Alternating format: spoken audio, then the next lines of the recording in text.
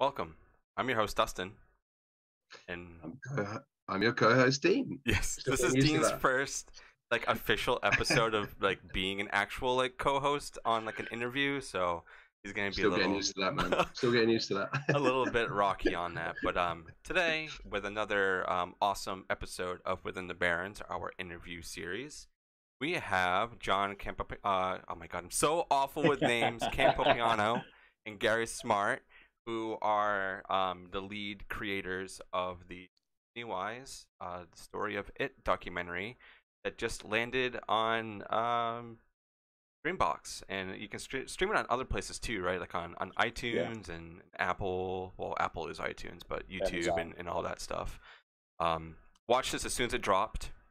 Absolutely amazing. Um, Pennywise and just it itself has always been a really big um, influence on me as a kid. Um, I'm going to be 29 this year.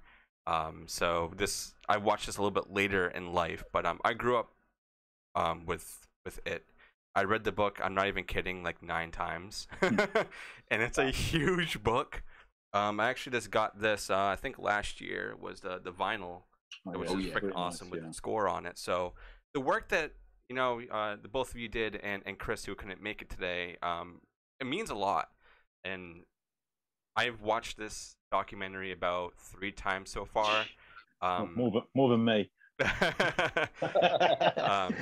I was trying to get it to to Dean, um, but unfortunately he's in the UK, so he wasn't able to really screen it. But I mean, I told him was like, no, it's just pretty much behind the scenes and everything. So he's waiting to watch that one, um, and he, he's really really amped for it. We tried so hard. We we tried VPNs. Like Dustin gave me Yeah. his VPN login. We tried. You know, Screambox wasn't working for me. I set, I was trying to hunt high and low. I was like, ah. yeah, it will be. It's very soon, UK. Very, very Yeah. soon. We're just we're just in the final kind of like contracts at the moment. yeah. Yeah, so um, I just wanted to, you know, right off the bat, kind of say thank you to uh, to John, Gary, and Chris for putting this five years in the making documentary um, finally out for everybody. So thank you, thank you very much, guys, for doing this. It means a lot.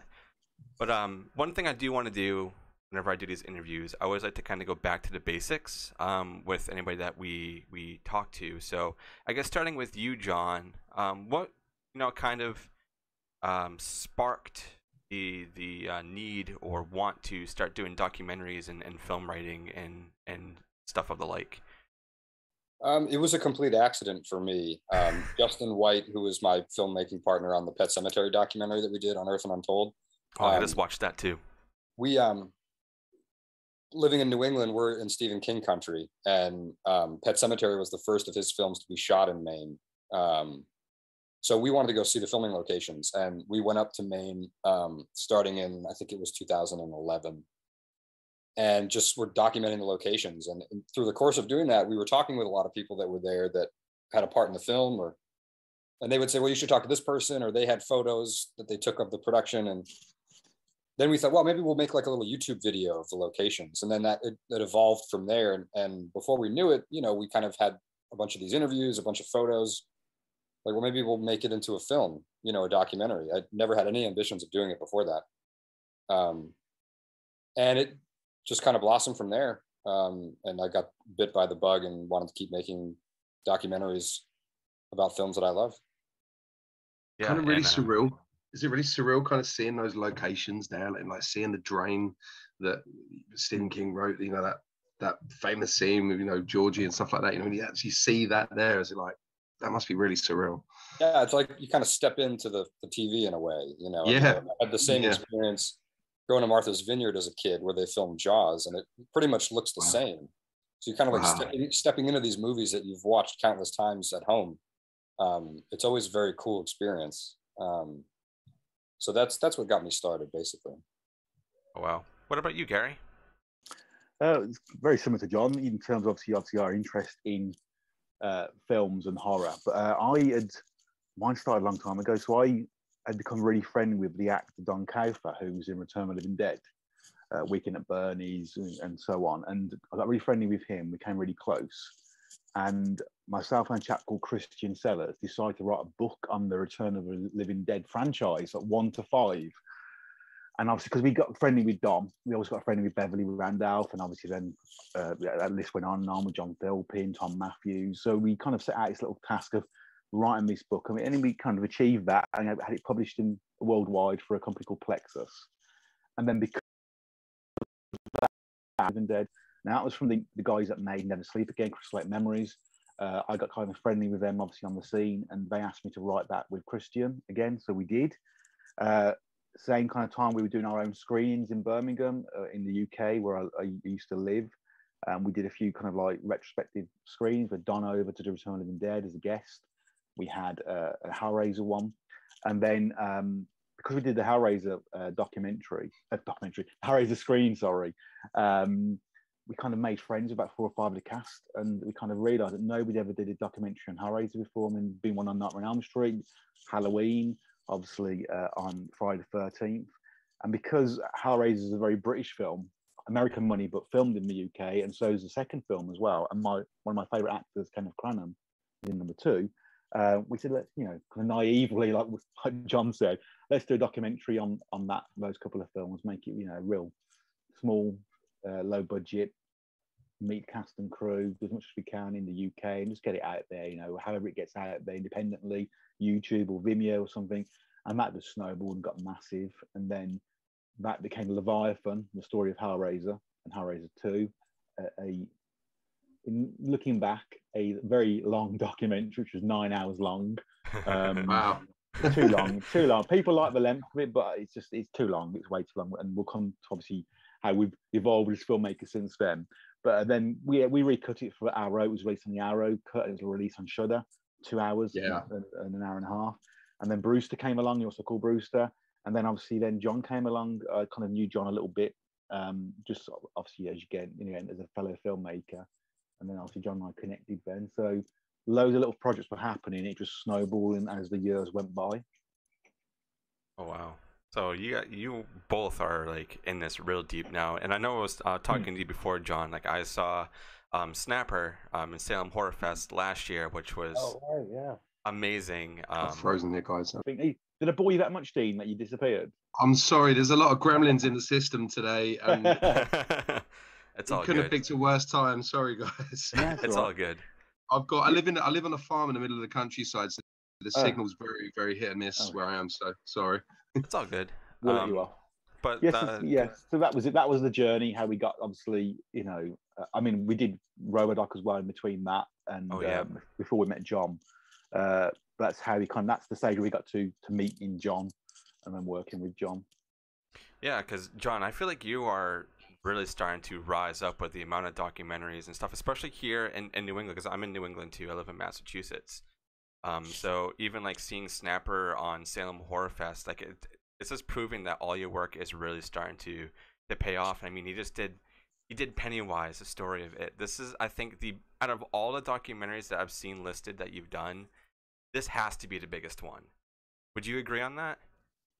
Yeah, I think so. I mean, I think it took a village. There were so many of us that, that made it possible, and um, obviously the source material was so extensive, and we got more archive than I, I got on the Pet Sematary doc, and, and interviewed more people.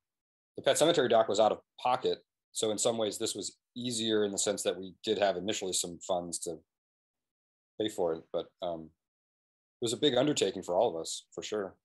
Five years in the making. yeah. I, was going to ask, um, I think you kind of already answered it, though, John. I was going to say, as a very ambitious film slash documentary, um, what was the process of kind of getting it all rolling? Um, but I think you kind of answered that when you were saying, you know, you uh, were sort of making small little YouTube videos and stuff like that, and then you just kind of thought, hey, let's actually try and put this together as well, a documentary. What, what, happened was we released the Pet Sematary doc, and then I went to Justin, my partner on that, and I said, hey, you know, I love the miniseries. Do you want to do a documentary on the miniseries?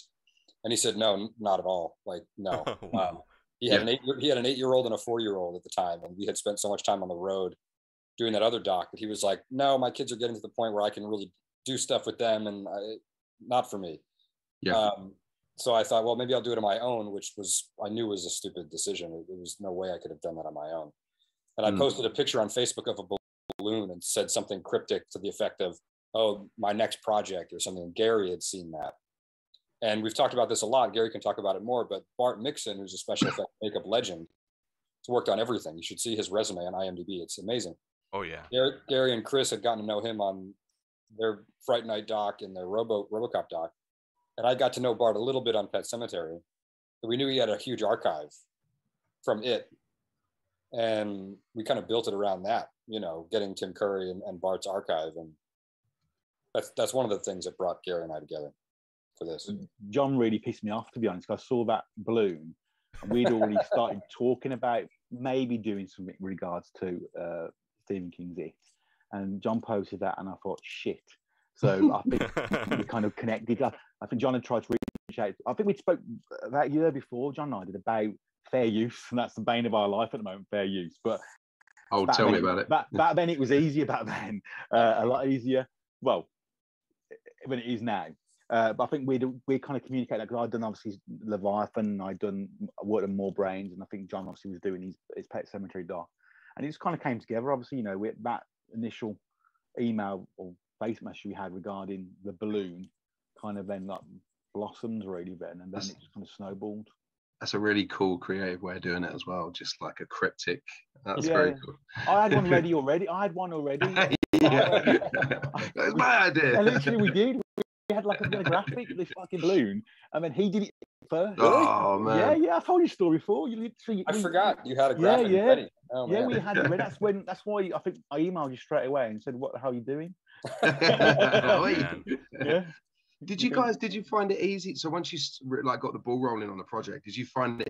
Was it kind of fairly easy to get everyone involved, get all the gang back together, so to speak? Like the, you know, the guys from the Losers Club. I know they do the rounds at the conventions and stuff. So I, I imagine they were probably really, really up for it. But like you know, like trying to get you know Tim Curry and Seth Green as well, because I know. I know about John's already got a big head, but I think he he really needs the credit on this one because we've done obviously the sourcing of interviews for RoboDoc and for what was it, over hundred people and for Hellraiser and whatnot. But Mm. John John really took the reins regards to Pennywise. But, um, Mm.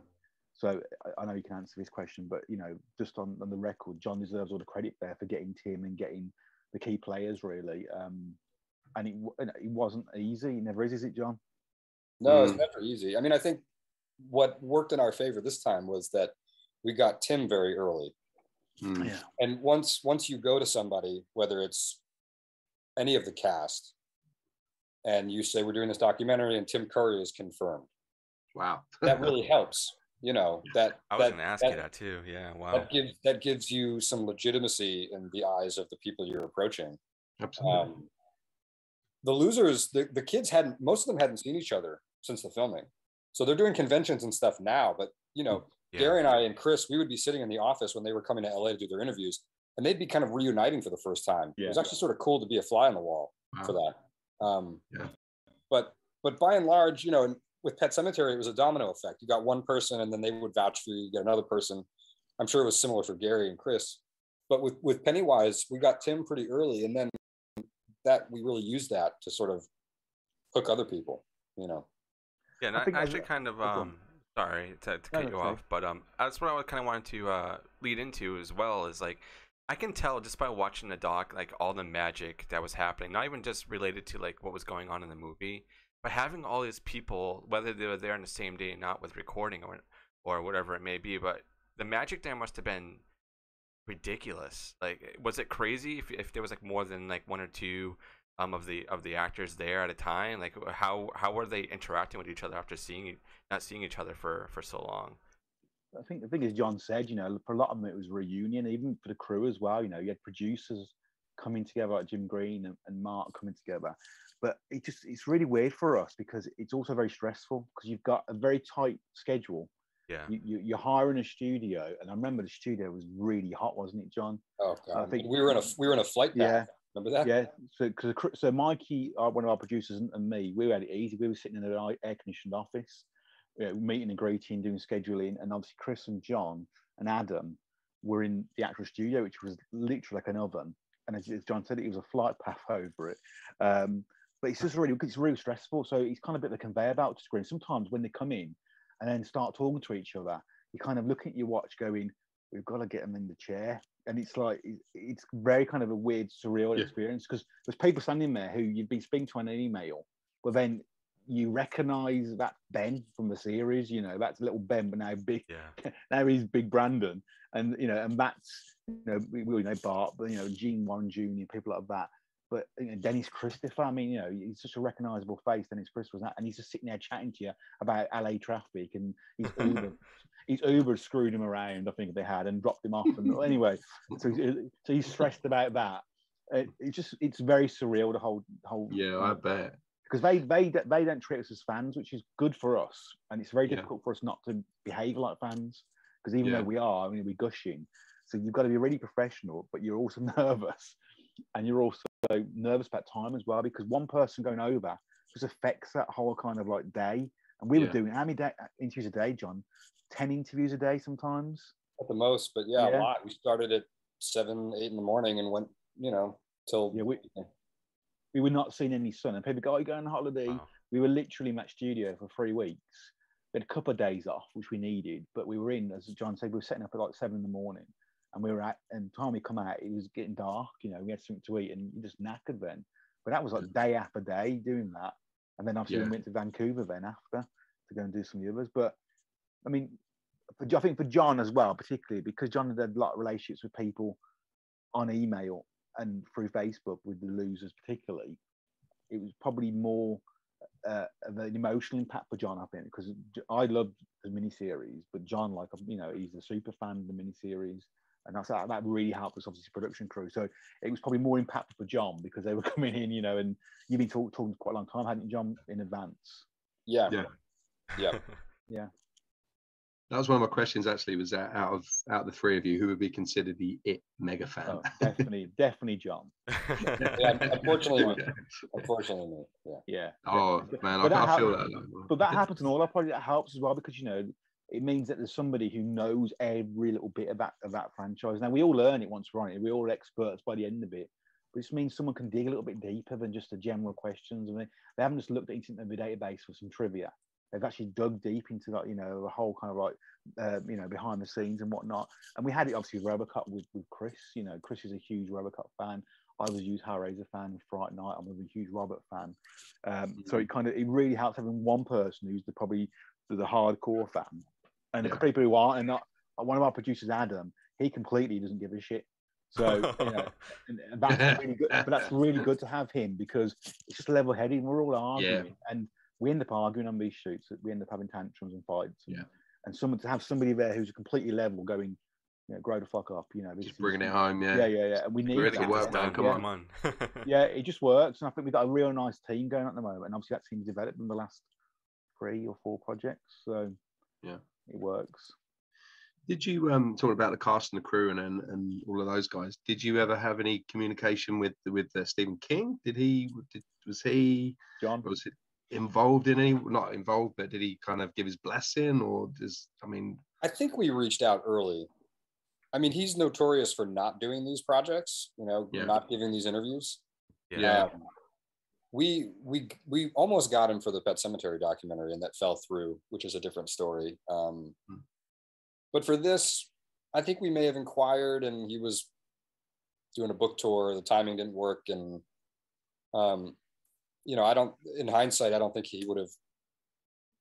We found a lot of great archive of King that we put in the film. Yeah, you it know, was really good. His voice is in there. Um, see, but but yeah, we didn't try too hard. I, honestly, I think I tried harder to get Annette O'Toole than I did King. yeah. Um, I, I think I think with with Stephen. Sorry for interrupting, John. I think No, no, prob- for me, I mean, and it's not saying in hindsight because we haven't got him. It's easy for me to say, you know, what I'm going to say now because we haven't got him. Stephen King, obviously, it wouldn't be a, a, a, you know a Pennywise about Stephen King. We know that. But when we hit the TV series, it's Tommy Lee Wallace's baby, really, and it's Yeah. Bart Mixon's baby, and it's Tim's. And I think he would Yeah. have been good to have obviously Stephen at the beginning, but it would have just made a, a big chunk of that documentary would have been about Stephen King and his voice. And it, when would we come in then into obviously having Tommy and Lawrence and you know and Larry, sorry, and and Tim and Bart. And I think sometimes the bigger characters can really overshadow, you know, the Mm. Yeah. project. And I think particularly when you look at Pet Sematary, and I know it was hard for John not having him on that, but he was heavily involved in that film. You know, Yeah. he'd written a script as well, having the script. Like he was in the film. That wasn't the case with Stephen with uh, you know um, Pennywise of yeah. Stephen King's It. You know, it was literally sold. The rights were, and then it was written by Larry Cohen and obviously Tommy Lee Wallace. You know, Stephen King had nothing to do with the production, and you know, I know afterwards, obviously given his views and he really loved it and whatnot. So I just think it would have been a very small piece of a very big jigsaw. Yeah, And I- absolutely. And, yeah, and John again, you know, John John is an amazing archivist. So John finding this footage which we could use and and having to find the rights to this footage as well and chase stuff like that. I think having his voice is in there, it's very much present. Then it moves on to Tommy's story. Then I, I, that's what I believe. I'm sure John will agree. Mhm. He, he always agrees with me. So Wow. Yeah. Um, out of all the stuff that you you found, like all, all the archive videos and behind the scenes, I wanted to know: Were you able to read through the original script? Like, was there a way for you guys to to see that, or um, or did you only get certain pieces to kind of put No. over some of the scenes that you Yeah. guys were showing? we had the original script. Oh wow! I think naively we didn't copy it because again it was one of them situations where I think Patrice, who was the first AD, bought the original script in, in with her, and we didn't have a you know with the scan that we had and whatnot. But literally she was like coming for interview and she was going, so we had to scan as much as we could. She put a massive folder of stuff in. I mean a huge folder. So we scanned them. What so while John's interviewing, I'm at the back scanning stuff, and obviously soon wow. she's ready, you know she's ready to go.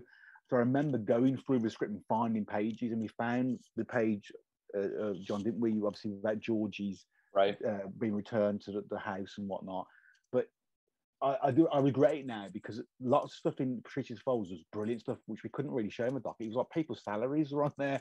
You know, we knew how much, we knew we know how much Tim Curry was paid. We know how much, you know, Wow. how, yeah, and it was all there. Insane. We've, got stuff like that, which we couldn't use. But I do. That's my biggest regret, I think, because you can't find that script online. You just can't. You know, you can't find the screenplay, and that we had it in our hands for an hour. And it's this Yeah. big juicy thing. I mean, different, two different colors, wasn't it, John? I think was it blue Yeah. and pink? Yeah, Pink and blue. Yeah. yeah, yeah. And we just, yeah, and I, I- that's my biggest regret. I just wish John would have kept the talking even more. So we could just, Yeah. I'll, just, I'll just like give us some like Rohypnol or something and just like knock her out. So I've got I've got a copy else. now, G. So I, I can I can mail it to you. You, he's got everything. He just- just little- of course, that's a awesome. A recent a recent acquisition from Adam See? That's Perez. awesome. See, and he didn't even bother using it with documentary, so he's selfish. He's kept that to himself. First time hearing about No. it. The fact that I got it three weeks ago is irrelevant. It's I should have put it in the doc. Yeah. Well, we need to re-edit. We need to re-edit the doc. Yeah. Re-edit it. Yes, go go back Yeah. another five years, get everything yeah. in there. Right. An extended version of Pennywise, the story Yeah. of it, part two. So when you edit this interview, cut all that crap I just said. John's got a copy. like, yeah, I didn't tell you, but I have this now. Yeah, yeah, yeah. oh my god. I guess like you know the the biggest thing that really came out of all this um, was finding you know a place for this movie to go to, and that was Screambox. Uh, were you guys aiming to to go on that, or did it come forward with Bloody Disgusting and be like, hey, we want to like put this out there, um, we want to get to you before Shudder or or something like that? Uh, was was there any kind of um talkings no. about that? We had somebody, oh, which obviously you can't mention names, unfortunately. We had some somebody who's really interested, and we were literally about to sign a contract with another distri- uh, production distribution company, uh, and you know it was at the time I was always a bit concerned because it was more of a business transaction more than anything for, for them.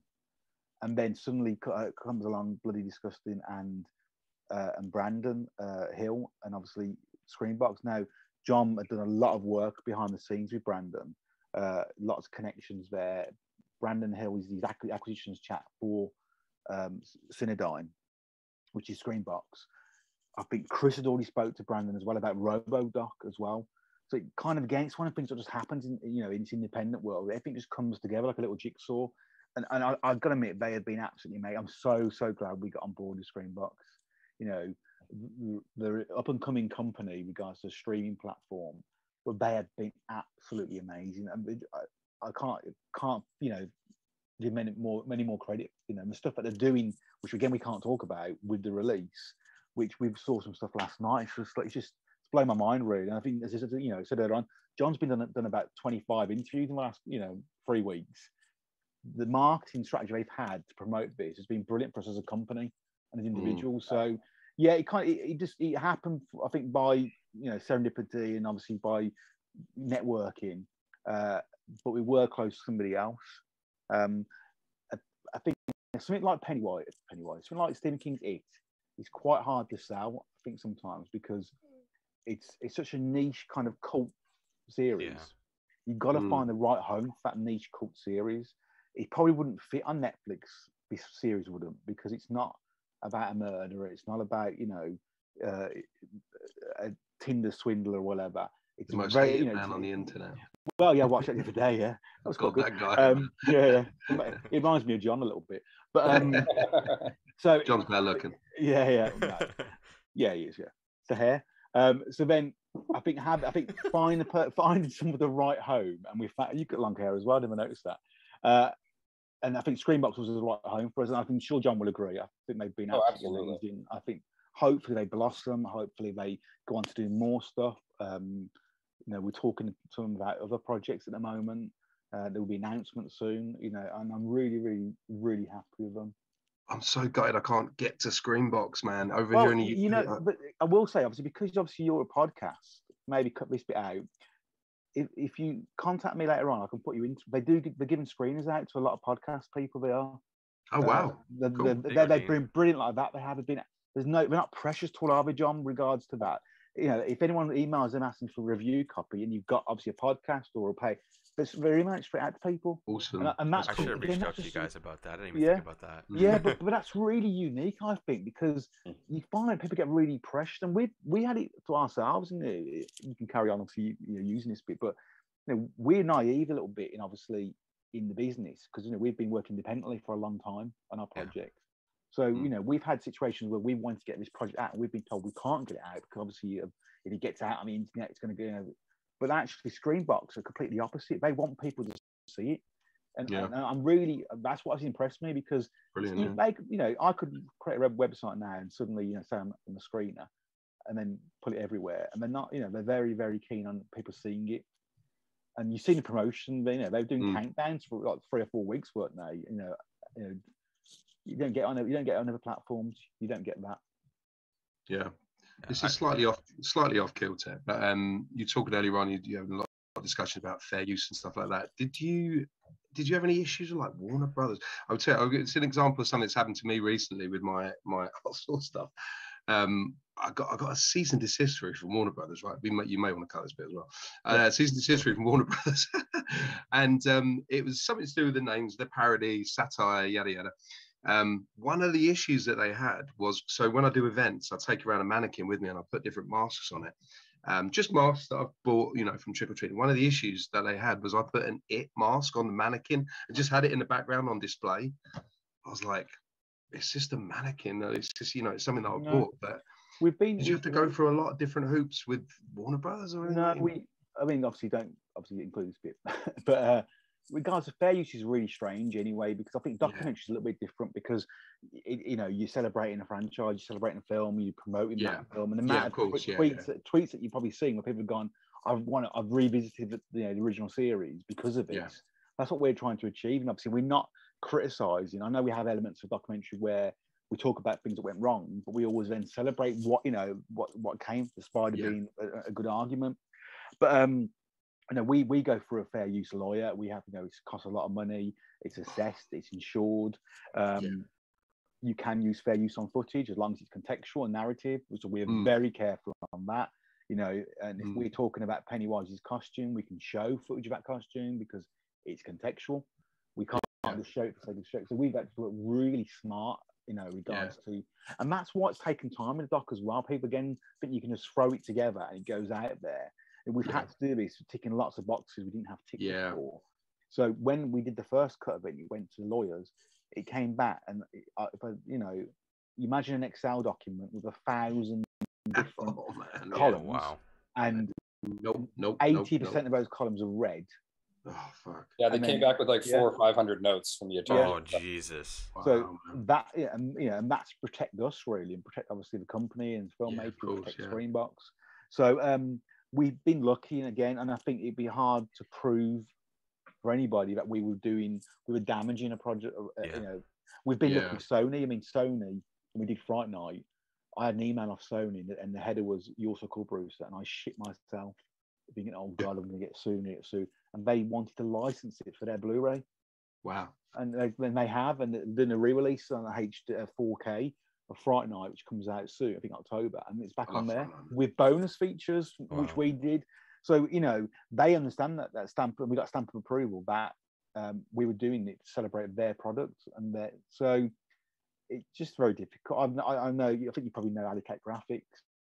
Yeah, I know, uh, John. Yeah, yeah, John. yeah. He, he's had a few cease and desists, you know, over the years from people. Oh, I was chatting And to him today, like, actually, yeah, John. Yeah. yeah, and it's like just doing a pin badge. What's the problem? Yeah. So no, uh, Yeah. you know, uh, much you can edit all around that. uh, it, it, it's you know, it's a long process we have to go through, and we're doing it at the moment with Robert Stock. You know, John's Yeah. got every time we do something, John checks. You know, and we have a Yeah. conversation that we join about every single image. We have a conversation about is this contextual? Is it narrative? Where's it come from? What would the lawyers say? You know, you're talking the lawyers what charge them six hundred dollars an hour. You know, what would they say? You know, for this. So we've been very, we've learned to be very smart. I think with fair use and and Yeah, uh, and license. And, we, and you have to. We've had to spend thousands of pounds licensing stuff as well. You know, Yeah. we've had to license images from you know the mini series. We've had to license images from Tim's other work, and that's not cheap, is it, John? It's like four, five hundred dollars a picture. you know. Wow. We've, Yeah, we've got the we've got the pictures in our office at home. You know what I mean? Which we could have just put on, but you've got to you've got to unfortunately go through some hoops. The right channels. Yeah. Yeah. Yeah. Oh wow. Sorry. There's always some sort of headache with filmmaking, especially when it comes to documentaries. So I can understand why they'll be like really on you with certain things to make sure you're giving a good representation of it. And this documentary is is amazing. Um, I didn't have Screambox prior to this. It made me go and you know get a subscription to Screambox. Good. So good on you guys for you know building their fan base over there. Um, and I can't wait to see if there's going to be any physical releases of this because you know I'm going to be buying every single one of them. Um, and it's it's such a great doc. I'm I'm honestly going to be watching it again after this. I watched it this morning, and I'm going to put it on again, uh, just because it, it all the stages you go through, all the chapters, and you know you know really highlighting everybody who was in the film and all the people that were, were able to be there um, for this documentary. Um, it really does prove that this film was a work of art, and you can never replicate this. Uh, this the magic and everything that that happened, you know, with Tim Curry in it, um, with even with you guys having Tim Curry on on there and him just talking and just listening to him talk about his experiences and and what he remembers, um, is so magical. And I, I really can't thank you guys enough for for pulling something like this together for you know us fans of of horror or just of Pennywise and it. It's it's great.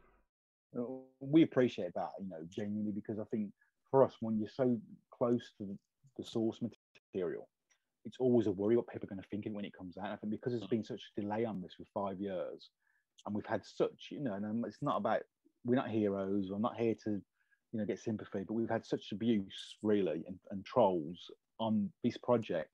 Yeah. And on the opposite end of the spectrum, there's some amazing people who have been so supportive and just want to see it and they understand it's going to happen. For- it to come out and have such good feedback, Mhm. and I it's just been it has made it all and that stress kind of sounds stupid you kind of you forget how bad it was and it was bad you know we've never given up in five years trying to get this out we've never given up and it's and it's here it's finally here and you know there's still a way to go with the physical releases and uk distribution and the worldwide distribution but we're on that first step and you know Yeah. to, to get it out there you know and for people to enjoy it but that's really nice to hear because i think you know um, as i said um, you don't see it sometimes. You don't think it's going to Yeah. be as well received as it, has been. I'm so happy it has been such, you know, because it, it was, it's a labour of love, definitely. I think too with these documentaries, and I'm sure Gary would agree. Chris and I have talked about this that our goal, we have a lot of goals, but one of them is that we really want these docs to be sort of be like the definitive say on these films. You know, like we don't want to leave anybody an opportunity to do another doc on it or or Fright Night or RoboCop. It's like we want these to be like the last word, um, Mm. which is a lot of pressure, but I think it's good pressure. you know, it forces us to try to go above and beyond. Um, but no, I'm we're glad that you love the the doc so much. As Gary said, you lose perspective after a while. Hmm. So Yeah, it's it's great. And um, one uh, final question I, I want to ask is um, was there a favorite part of filming all of this that um that you uh, liked the most? Like, we'll start with John. Was there something that was like very like, wow, this is amazing. I can't believe we're able to do this right now. Like, did you have like one of those moments while doing this? I had a couple. I mean, one has to be, you know, going to Tim Curry's house Oh Yeah. wow. in, in Burbank with the guys to interview him. Um, you know, we showed up and he had iced coffee and cookies and stuff for us. And just to be setting up in his living room, he's got a lot of fan art that people have sent him over the years hanging on his walls. And So cool. um, and then just be in that space with him and, and That's interview awesome. him. And, um, obviously a once in a lifetime thing. Um, that that for me has got to be the top. Yeah, I mean, I would be like to the moon if it was like, yeah, just come over to my house and I'll show you around and here's, here's some coffee and cookies. Like, wow. These are like all the conventions, you know, even you know with his health problems and whatnot. But he's always there for the fans, always, and he's never gonna stop. And um, you know, God bless him because he's he's a trooper, you know, and Oh, having him on that doc is is crazy because you would think with you know with how he is right now with you know health wise he would probably been like no i'm, I'm okay i just kind of want to stay low but I'll, I'll give you some input or whatever but for him to actually be there invite you guys over and like have an actual spot in this documentary that's mind-blowing I think we got lucky with the timing because uh, when we got the green light from Tim, he had just started to do conventions. And also the buzz was starting with the new films, with Andy Muschietti's films. yeah So I just think we we kind of hit it at the right time, which was largely coincidental, I think. But um, I think it made a lot of things possible that maybe weren't wouldn't have been otherwise. for sure I uh, want what to meet about you Tim. gary I mean, it's going to be the same. It's going to be it's going to be Tim. I mean, you know, uh, yeah i don't think and you I can think- top that Yeah, I just think going to his house, as John said, you know, it was such a a strange experience, a, a nerve wracking experience, and we were shitting ourselves beforehand, and we were panicking, and we didn't think it was going to happen. Still, we and we finally got there, and we got into the house, and we were waiting for him. You know, we're in his living room, and he's not there, and he's obviously suddenly you can hear him coming in, and he was just witty, sarky, funny, all of that in one go, despite the health issues he was he was you could see that twinkle in his eye really. And he just had very much the that I don't want to say that British wit but he had that kind of like you know cheekiness about him still. And uh, we uh, you know and it was kind of as John said I think at the time, this was six years ago you know five years ago and obviously you know he had the uh, stroke uh, was it 2012 I think it was Yeah, i think around there yeah So it wasn't a you know a huge you know, you know at one stage I remember the news articles coming out saying he'd never speak again. You know he was that ill, and you know you get hopefully rehabilitation you get better and better as years go by. So we we got him at a stage where you know he was actively you know talking to people, and obviously John said he was going back on the convention scene. Uh, I think we got as much as we could out of him um, in the sense of he was happy to be on board. He really wanted to talk about it because he was tired of talking about, say, you know, uh, Rocky Horror Picture Show and that kind of stuff. For the first Wow. time, people talking about Pennywise to him uh, and that impact of that character. Um, again, like most actors, for them, it's just a job. You know, they come on the set and they go home. So, you know, we and we we had a review last week, and I'm not going to be negative about it, but it just one of the reviews we had was really really nice review. And then the last bit was he wasn't in it enough, Tim Curry. You know, it's two hours, he's not in it enough. I think what we got out of Tim in the circumstances was brilliant. And I think I'm so proud that he's in the doc. I'm so grateful for John's hard work getting him in the doc because he made it. And I know we had a conversation, John and I did at the very beginning. If we didn't get Tim, was it worth doing? Because the whole point was this is Tim's legacy. Now, that's not saying it isn't Tommy's or Bart's, but it was so important for us to get Tim. And, and as soon as we got him, it just rolled. So I think it cannot be other than having Tim to be our favourite moment. And we had a laugh on that shoot. It was stressful, and we bonded as a team, you know. And, and we we went to Vancouver together, and we walked, you know, we had some funny stuff happen in Vancouver where I think we bumped into Neve Campbell, didn't we, in the woods? You know, she just walked past us. We locked we locked our producer Mikey in, in, in the car, the windows up, you know, 120 degrees, nearly killed him. you know, it was just great. And again, and I'm not, I'm not a location person, you know. And when I used to see John post about location, I used to think, what a sado. He's going to Martha, Martha's Vineyard and that. But actually, when we got to, and John dragged us to, you know, in Vancouver to where it was filmed, and I didn't want to go. And I remember thinking, shut up, John, going, I don't go to some library. I don't want to go to some bloody the Barrens. But when you got there, and we were at the Barrens where the kids were, and we actually found the exact same place. You just felt like you, you got absorbed into that world. You know, it was like time travel, and it was something I didn't expect to happen until I was there. And, and that's another experience for me. And again, thank John for that because he's a sado. But I just think doing that and actually experiencing where the kids are actually playing and being filmed was just amazing. And, you know, and I bet you people walk past that area every single day and wouldn't have, have a clue Yeah. that's where it was filmed. Uh, And they'll go to the library where we went, you know, um, and we spent a few hours at that library, didn't we? You know, where Yeah. the, people wouldn't even have a clue that it was a library. Hmm. No, it's not a library anymore, John. What is it? It's like a, Like a- isn't it? some kind of event hall. Yeah, yeah. But you never have realised that's where. It I mean, it, it helped in the edit just to have that footage anyway. Yeah, yeah. Yeah.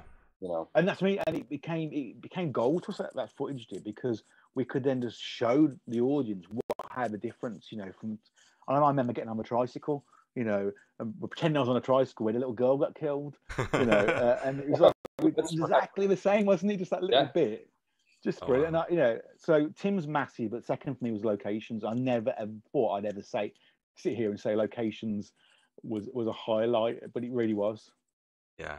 Wow. it made me then a year later when I went to LA, I went to go and visit Return of the Dead locations. I became sad to start visiting location, but again, being there, then going, I swear if I can shot Return of the Living Dead, and that's Oh, I down love to stuff John. like uh, that- that, yeah, but that's down to John. You know, I give him credit for that. Gary's Yeah. drinking the Kool Aid. You're drinking the Kool Aid. exactly. Gary, do you remember when we were with Tim? I had forgotten about this until just recently. We showed him some of Bart's footage on my laptop. Remember that? yeah, yeah, yeah. I remember. That was cool to show him Yeah. the footage he's never seen. Yeah, yeah. He never wow. yeah. And it was also it just it was so funny that that day was because it was real stressful. I mean, it came in the end. It was like it all calmed down, and, and Tim's sitting outside next to his pool with Chris having a cigarette. It's just it's, it was just surreal, wasn't it? And we're just, me and him are just peering through the window, desperate to be there. we need to took up, we need took up smoking that day, didn't we, John? Just to get Oh, outside, God. didn't we? Yeah. yeah you know but just yeah i mean we've been so blessed and so lucky and about being like you know cliche uh, uh, the biggest hero i think on this project is bart mixon Yeah. without question he's the biggest hero because he he gave us no, you know, three hours or whatever it was two hours of behind the scenes footage no one's ever seen precious Wow. precious material. Didn't charge us a dime for it. Wanted it shared with the world and gave us free reign to use over we had over 700 images i think you know something like that. Most of them were from him. We had a lot of other people of course as well. We were very very lucky with the archive you don't get that on projects you know we're doing the robert one now and and john's been again brilliant getting the archive but it's it's a lot harder i think just because it's so many different films and trying to get stuff which relates to, to robert particularly uh, it's, Yeah. it's that's a job in itself that takes weeks and months doesn't it just to get that stuff Uh, another thing that um that really you know proves that it was such a big part of my life is that my podcast is, is named after the Barrens, uh, Barrens Hideout. yeah So uh, that's another thing. So I, I have it pretty much everywhere in my life right now. I have a bunch of fan art and stuff behind me as well. i can see yeah i can see pennywise peering above your head Yeah, yeah, I have so much stuff over there. It's it's Oh, crazy. Yeah. um. So yeah, this was an absolute honor to have thank both of you. you on. Um, Dean, I don't know if you have any last questions that you wanted to ask. Um, but that's good, that's all, man. that, all that I had. Yeah, yeah, yeah. I had, I had a few, but the guys have answered uh, it already. So yeah. Man. Yeah. And you, you pretty much answered the other thing I was going to ask if there was anything else in the work, but uh, you guys pretty much answered that with the Robert Englund one, which I'm excited for, and we would love to have you on uh, to talk about that one as well. It's going to be it's going to be a good one. That we're really really happy with it, you know, and it, and it celebrates him beyond Freddy, uh, which I think is really important for Robert. So I'm really really happy about. That that's that's definitely like a, a huge milestone right there to deal with another very iconic actor in in the horror world or just in the film world in general. That's that's amazing. So Well, congrats it- to both of you with it- your it- with your careers. No, thank you. And it's different kind of route for us, and I think it's hopefully a route me and John and Chris have been talking about expanding because we've always done film retrospectives. We've always done about one particular, you know, uh, aspect. And with Robert, we've been able to dip into comedy, drama, and the horror. And Yeah. think, it's act- and obviously, then somebody's life as well, and how they've started and their personal relationships. And I think you know we're already talking John and I about stuff, and, and Chris and and I, and it's going to be obviously hopefully soon once all this is done, the three of us will get our heads together and start moving forward on, on our next project beyond Robodoc and beyond um, uh, Icon and beyond Police Academy. We're going to do a doc about Gary's life. That's going to be the next project. yeah. That'd be- that'd- that'd be Gary's boring. is- Um, I guess one last thing I wanted to ask Gary is the the Pennywise costume behind you. Was that an actual screen used one, or is that uh, No, a, a no, store bought? I am not John Campopiano. That was thought- uh, that, that, I was like, here you uh, go. Yeah. No, John's got two costumes. really? Yeah, yeah. I mean, John, John, John can find archive, and John somehow hypnotizes people to give them their stuff they've had in storage for 30 years, which cost a fortune. Some, something he does. I think he gets photographs with them, and then he blackmails them or something. in some motel, because he manages to get. I'll two never sc- tell. Yeah, he gets two screen wa- worn I'll never tell. Now he's got a bloody script, which he didn't tell us about. So he, I don't know what he does to these people, but the thing, but again, I think just the way John's very charming, and that's why I love him because I want some photographs for one of my projects. I send John to go and get them within an hour. I've got a Dropbox file with 400 pictures on, so that's why I like using John. got the magic. He's No, got John, the magic. You're He's a got master, something. man. Yeah, Mhm. he's got their phone numbers and their addresses as well. So. Send John in to get some screen used Yeah, Freddy yeah. guns. Yeah, yeah. Don't worry, I will be. Don't worry. Oh man. I think a friend of mine did some artwork for you guys actually for the icon. Uh, Gareth, Gareth Gibson, did he do? Yeah, some? Gareth, and he did Pennywise as well. So Oh, all Gareth the is anima- Oh, did that? yeah. Yeah, all he the did all my logos for me. Did he they? did all my bottle logos and everything. Yeah, yeah. So any, all the animations in Pennywise is Gareth's work. and Oh the same wow! as- so it's quite okay. a lot. It's, so when, sometimes when you can't find archive or images, and to tell a story, it's it's great to use people like Gareth. We can just have that story Yeah. visualized. It's supposed to have a talking head. So Yeah. used him on, I- on on Pennywise. He's also doing some icon stuff for us. Well, he's done quite a lot. I think twenty six images. I think he's done animations. oh, That's. Amazing. Yeah, no yeah, idea, so- man. No, he's brilliant. No, we, and you know, we work with quite a lot of people who kind of just come on board and you know get, become part of the team and whatnot. So yeah, it's, it's, always, cool. it's always good stuff. Yeah, he was my first ever convention neighbor, and um, when I Yeah. at the horror HorrorCon in Sheffield actually, and I loved his work, and I was like, dude, I need some new logos. so he just Yeah. did all my logos and everything for me, and we've just been friends ever since. So yeah, he's a really he's a cool good guy. lad. Yeah, he's a really good Yeah, lad. yeah. Awesome, man. Awesome, Yeah. The awesome. world is a small place when It you think is. of it. Yeah, it is. It's, it's I mean, I, I literally did a post about an hour ago about, uh, you know, I've got an idea for the final Robert poster.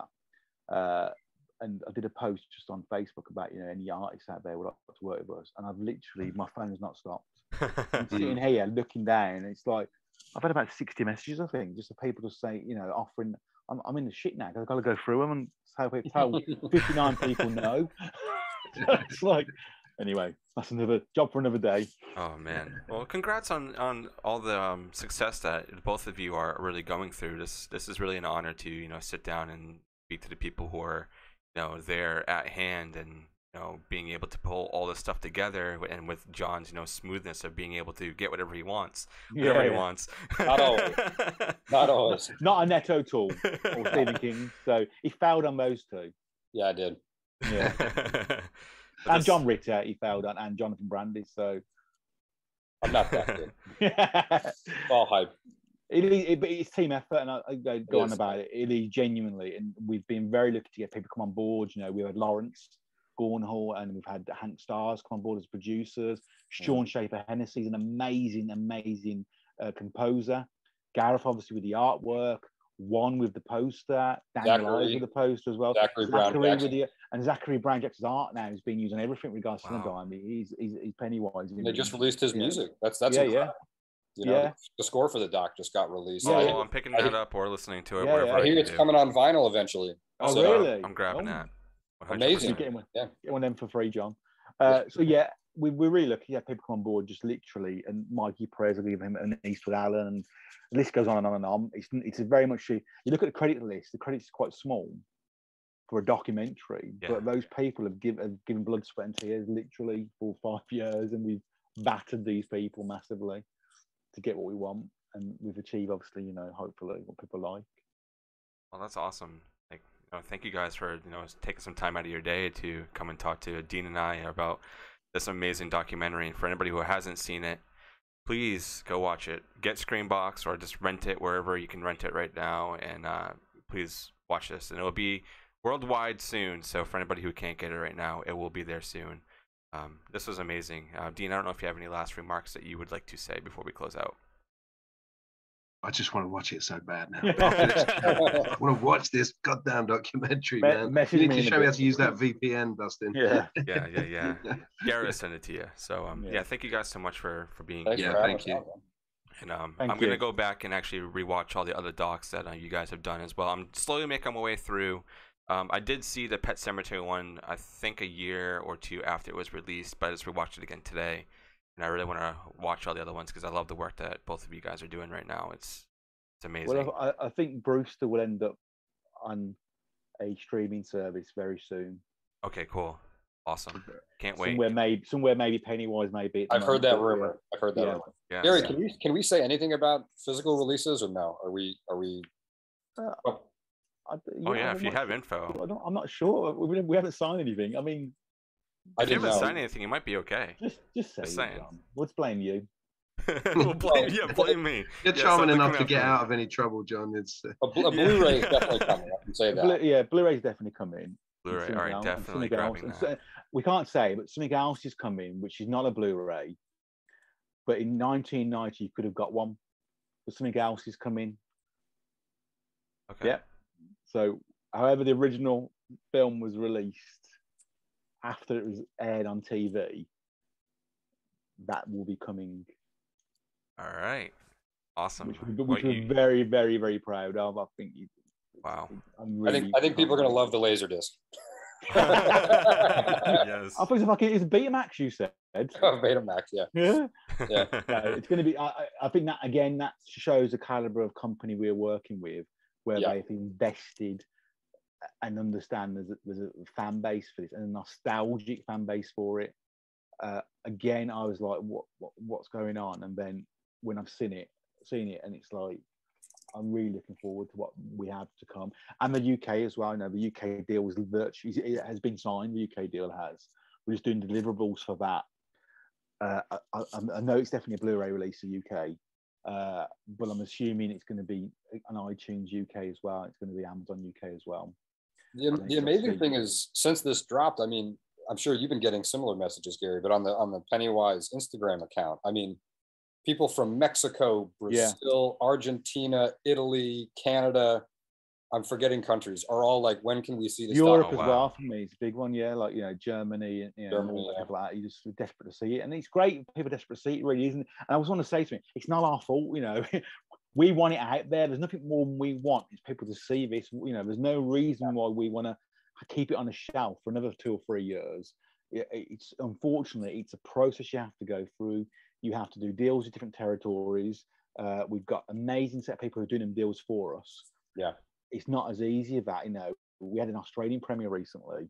I think we're going to have some UK screenings. I know about a Scotland screening hopefully happening, and I'll talk to someone today about that. Um, so you know, we've had some American ones already with John's attended, so there will be some screens over here as well. Um, but anyway, uh, sorry, that's the dog. It's all you guys, you guys uh, again, was it in Fright Fest at all? Did they pick it? Yeah, so last year we uh, we had a couple of premieres. So we had, uh, sorry, I, I was going to apologise for these dogs at the beginning, but they've been so good this evening. Now the little shits. Um, we we premiered at Stitches uh, Stitches Film Festival. Sorry, uh, Sitges. Is that one in yeah. Barcelona? That one. Uh, I think somewhere in Spain. Yeah, Sitges. Chris- yeah, yeah. Yeah, yeah, Sitges, yeah. Chris went to that last year for the premiere, and that was a bit of a rough kind of cut of doc- the doc. We were still working Mm. on the, the grade and whatnot, but it was received really well there. And we went to then a screening in London at Fright Fest, Mm. and that was on a big IMAX screen. It was unbelievable. wow. Oh, Uh, wow. and it was and it was full the screen was and John didn't experience any of that. It was a real shame because you know this is Mhm. from when you work people overseas. You know, you know there's that mass. You, Yeah. There's no way we can do those things you know together. Uh, and John didn't experience that, but thankfully John's experienced it since. Obviously with his hometown and obviously another couple of screenings, and hopefully more. We we we have the theatrical rights to Pennywise still. One Mm. again, having been able to retain that is not unheard of, really, isn't it, John? You know that No, right, yeah. you know, we're- you know, we've been allowed to retain those, so we can do screenings if you know if people are interested. John's your man for obviously the US, and I can organise the UK ones. But um, uh, it's just great to see it on the big screen. You know, a doc as well on the big screen is really nice. But yes, it's, it's Stitches and the Fright Oh, yeah. You should try and link something up at like the Prince Charles Cinema and get some guests to do some Q and A's or something. They do. those do stuff yeah, like that. I mean, saying like it's again, it's probably for for us. It's kind of a, the, the downside for us as Brits is that you, John could you know go to a, screening in LA, hopefully, Yeah. and the other cast. They could one in Vancouver. For us, we, we get nobody here. You get Jared. You get Jared. He's in Leicester, I Jared, think. Yeah, yeah. Maybe us and Jared sitting in there. um, but I would love to do a screen over here. Do you know what I mean? I'd love to us all to be together for a screening, you know, including John, and uh, I, that may happen. I think maybe something like Robert's one because it's a little bit different. It's more of a broader appeal, ah, which it, it just, it, it just is by default. So you know, you can put that in, a- in a cinema and get probably a little bit more traction than you would RoboDoc or you would. Of course, COVID's made everything harder for Oh, these of course. you know. Yeah. Of course, Yeah. yeah. But no, so again, it's just it's just been an amazing journey. Really has. Unreal guys. I seriously can't wait to watch it. I'm oh man. You got to I want to watch Dustin. it. I want to watch it. I haven't seen it for like since the kind of like the, the stages, the final cuts and the grading. Yeah. And Yeah. again, you're so absorbed in it. And you, it's weird. You, you, I'm not sure. Probably John's the same. Once you work on these projects, you've got to separate yourself a little bit from them. And I didn't watch Return of the Living Dead for about five years after working on that, and it's my favorite Yeah. film. But you have to step away from it because you live it so much. But I actually think I'm at a stage now where I want to watch it. I want to sit down and you know, lights Yeah. on and watch it properly. Uh, yeah. Because I said we're immensely proud. About to repeat myself on that. Think we are all are. Oh, I shit you not. We Dustin last night. We were we were trying to. I was like, Really? right, I need to watch this documentary, and we tried every single thing possible, and all I kept getting was a black screen. I was like, what's going on? That's the doc. It's all it's all black. Is it? well, it sounded good. And then a red, hear bal- it. I a, just a red balloon it. just appears then. That's what happens. There's no right to show any footage or any clips, just pop my red balloon. which. Experimental. That's all yeah, is. It was experimental. an yeah. audio. There was there was subtitles. There was I could see subtitles. Oh, really? Like, and I could hear it, but I couldn't see anything. But I'm a, I'm a purist, man. As soon as I can get hands on a physical copy of that, I'll be Same. doing Me that too, yeah. I, I can't And I'm wait for guess- that to happen. I'm guessing you're probably going to be in Manchester for the Love of Horror this year, Gary. So if it does, if you are there and it does come out, you're going to sign a copy of that for me, man. Yeah, yeah, because Grab one from me too, Dean. Yeah, the Oh, yeah. Night people are there, aren't they? The Fright Night. Yes, they are. Yeah, yeah, yeah. So I'll, I'll, I'll catch up with them, and Tommy should be there. Tommy Lee. I, Boyce t- I is think there. Tommy's there as well. Yeah, he is. Yeah. So, so hopefully we'll make a deal of that. Actually, that that would be good for maybe do a screening up in Manchester, if uh, Yeah. if if Tommy's around, you know, and he, he's up for it. I don't know what I don't know if we, we had no feedback yet from Tommy. Have we, John? If Tommy's seen the doc. Everybody else in the cast, thank God, have watched it and they've loved it. You know, you call. You know, I don't know about Tim and that, but the kids have all loved it. The losers and. you I got a I got a really nice email today, uh, Gary, from Larry Cohen. Oh, really? Over the moon about it. Oh, that's Yeah. awesome. Good because he's a, he was Right. such. We didn't meet. I didn't meet him personally, so I'm, I'm going off on one now. Right. he was just a fucking great interview. I really liked him, I- and again having him in the dock and, and being so honest as well about night two. Do you know what I mean? For someone to sit there and be honest about Yeah. your work, that's unusual. You know, because everyone gets an ego, and everyone who gets a career as well, and being so long in the career, be, you know, don't. It's all rose tinted, isn't it? And I Mm. think what we had on this project was people weren't rose tinted at all. People were very honest, but there's a love Yeah, for were. it, and, and you know, genuine is a love for it. And Larry was one of them. You know, he's open about night too. You know, Mm. and obviously so was Tommy. Uh, and I love Tommy to bits. Obviously, we did Fright Night with him, Right, uh, Mm. so he's great. So hopefully we can hook up with him. That's awesome, man. And yeah, and John could sell one of his suits or his script and come over, couldn't he?